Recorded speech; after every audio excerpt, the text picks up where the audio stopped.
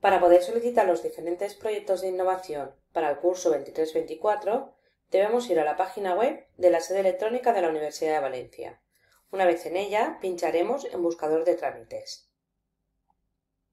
Dentro del catálogo de trámites, para hacer una búsqueda más eficaz, filtraremos por proyectos.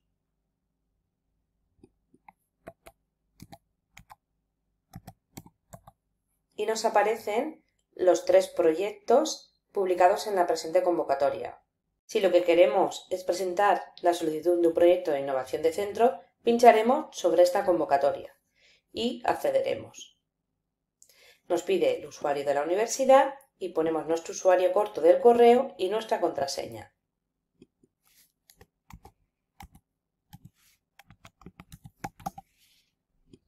Una vez dentro,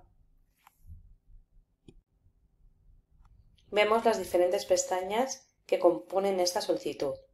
La primera pestaña tiene que ver con la protección de datos, que debemos leer y si tenemos cualquier duda debemos pinchar en este enlace.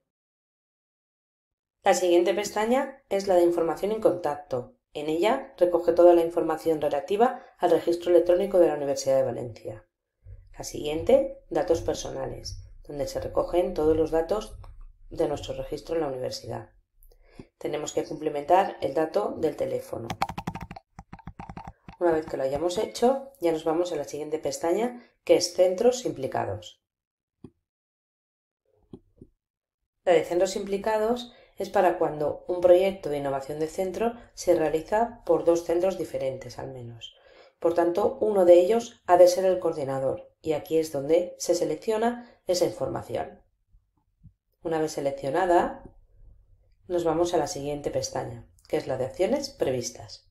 En las acciones previas, lo que tenemos que complementar son las diferentes acciones que queremos llevar a cabo con este proyecto.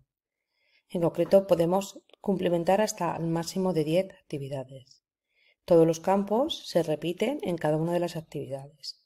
Por tanto, en el título lo que tenemos que poner es eh, algo bueno, pues que defina un poco la actividad, talleres creativos o lo que consideremos.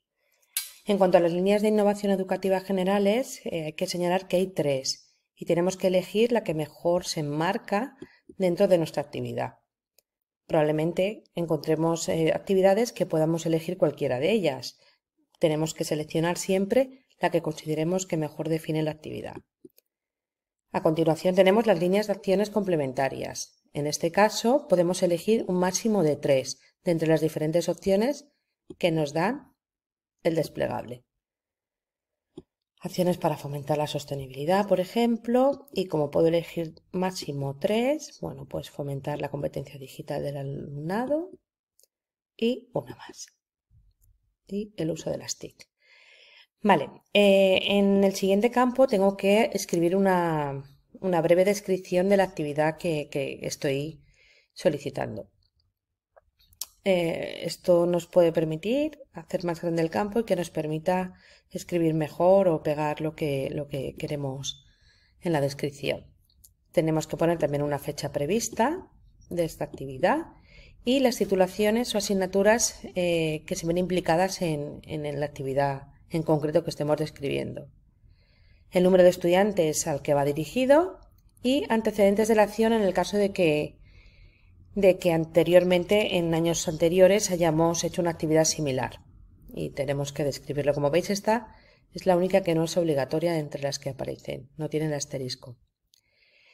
Eh, en este campo tenemos que complementar los objetivos y, eh, el desarrollo de la actividad y en los siguientes tenemos que eh, cumplimentar los resultados previstos y cómo vamos a evaluar esta acción.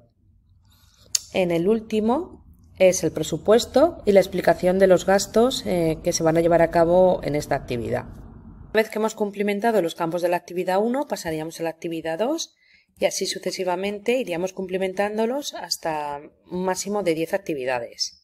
Y ya pasaríamos a la pestaña siguiente, que en este caso es la pestaña de presupuesto. Una vez en esta pestaña podemos poner actividad 1 o podemos poner el nombre de la actividad. y asignamos la cantidad económica que consideramos que nos vamos a gastar en esta actividad. Añadimos la siguiente actividad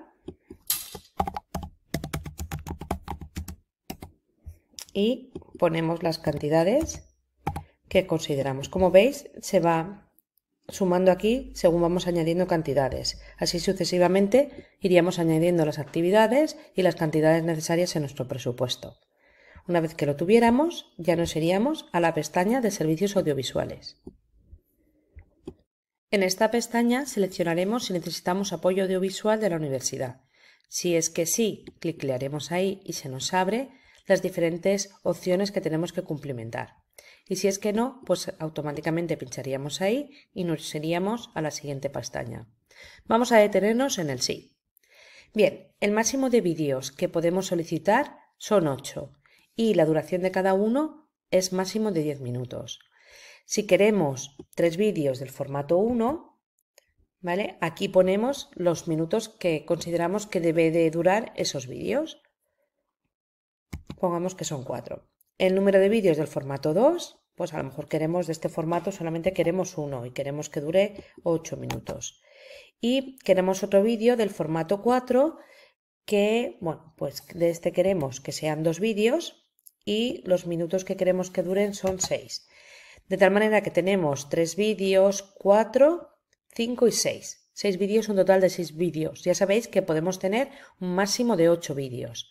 Para saber estos formatos a qué se refieren, podéis pinchar en este enlace y consultar a qué se refieren los formatos. Además, también encontraréis esta información en la convocatoria que ha sido publicada. Seguidamente vamos a la pestaña de documentación. En esta pestaña lo que tenemos que hacer es adjuntar el documento DACI. Este documento debe estar cumplimentado y firmado por el coordinador. Seleccionamos el archivo, lo buscamos en nuestro equipo y lo adjuntamos. A continuación iríamos a la pestaña comentarios. Esta pestaña es para cualquier sugerencia de mejora que queramos realizar sobre la, solicitud que acabamos de cumplimentar y va dirigido a nuestros compañeros del servicio de informática que se encargan en concreto de la sede electrónica. Si no tenemos nada que decir, ya nos iríamos a la pestaña de finalizar. En esta pestaña, si queremos recibir notificaciones telemáticas, eh, dejamos clicleado el sí y añadimos el correo electrónico a través del cual queremos recibirlas. Si es que no, tenemos que complementar todos estos campos que aparecen y darle a enviar. Eh, en el caso de que sí que las queramos recibir, eh, una vez que hayamos escrito el correo, ponemos enviar y aparece eh, una ventana nueva donde nos sale el registro electrónico que hemos realizado de la solicitud. Ese registro es algo que tenemos que guardar como justificante de la, de la entrega de la solicitud.